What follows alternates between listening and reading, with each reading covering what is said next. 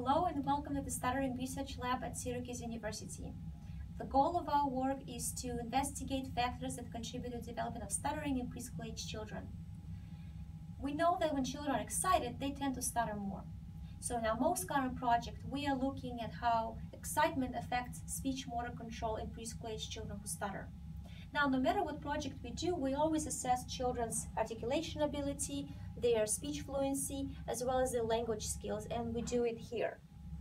To look at speech motor control, we ask children to wear these special goggles, and they have small sensors on them. We also ask kids to um, have these sensors on their lips and on the underneath their jaw.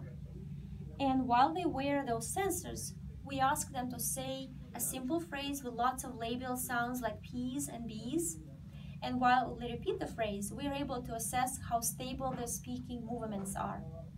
To get kids excited, we show them some pictures that will be exciting for them. And to make sure that our pictures work, we measure children's heart rate, breathing rate, and skin conductance, which are measures of autonomic nervous system activity in people.